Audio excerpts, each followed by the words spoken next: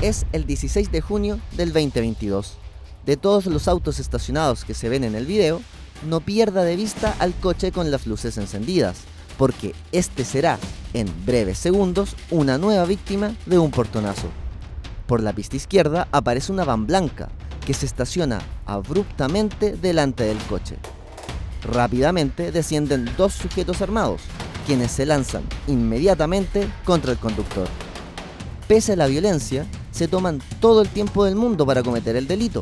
Incluso, en una acción insólita, retroceden su propio vehículo para que una camioneta pueda salir.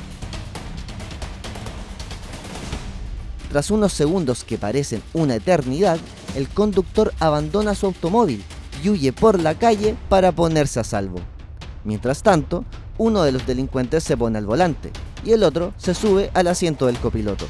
Esperan tranquilamente que la van que los trajo escape del lugar y recién 10 segundos después se ponen en marcha para darse finalmente a la fuga.